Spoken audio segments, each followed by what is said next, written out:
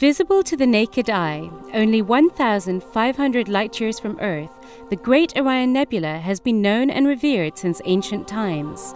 A popular target of Hubble, researchers have now identified 42 new disks within it that could be the beginnings of new planetary systems like our own. In the sword, just under the belt in the constellation of Orion the Hunter, is the majestic Orion Nebula. The Orion Nebula is one of the best known examples of a star-forming nebula, a swirling cloud of gas and dust where stars begin their journey of life. Now in the early 1990s, astronomers discovered so-called proplyds in Orion using Hubble. A proplyd is a protoplanetary disk, and it forms along with a newborn star in a spinning mixture of gas and dust. At the center, you have the star forming, and around it, bits of dust clump together to form a disk. Essentially, proplyds are thought to be young planetary systems in the making. One of the first targets of astronomers after telescopes were invented in the 17th century, the Orion Nebula was also the first nebula ever photographed, over 100 years ago by the American astronomer Henry Draper, a pioneer in astrophotography. His photograph, taken in 1880, represents a milestone in the history of astronomy. Now the beauty of the Orion Nebula is not its only draw.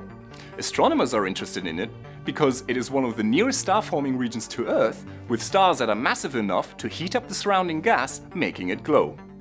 This fascinating object has been a favorite target of Hubble's from very early on in the observatory's lifetime.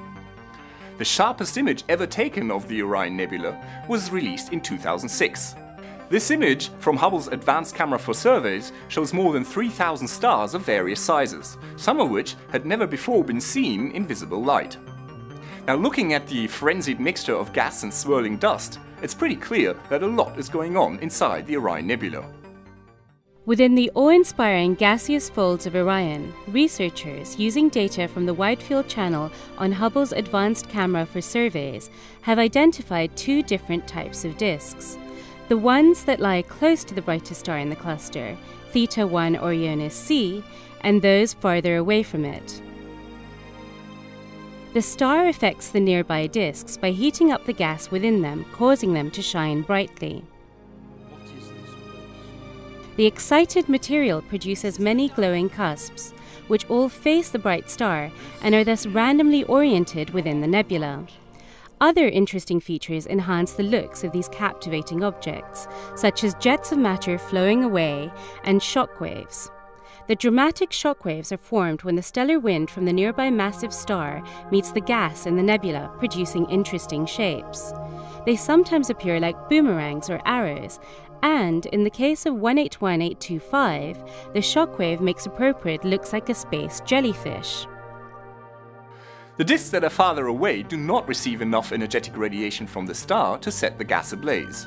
That's why these disks can only be detected as a dark silhouette against the bright background of the nebula. The dust in the disk simply absorbs the light from the background. It is in these silhouette disks that astronomers are better able to study the properties of dust grains, which are thought to clump together and possibly form planets like our own. The bright star that illuminates some of the proplyds, allowing us to see them, is both a blessing and a curse. The powerful radiation that lights them up also threatens their very existence, as the disk material, once heated up, is very likely to dissipate and dissolve, destroying their potential to become planets.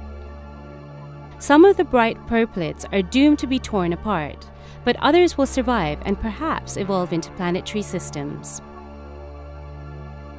It is relatively rare to see images of proplyds in visible light. However, the resolution and sensitivity of Hubble, combined with the Orion Nebula's proximity to Earth, allow for an excellent view of these fascinating objects. Although proplyds may appear to be only humble smudges, some of them are in fact the seeds of solar systems to come.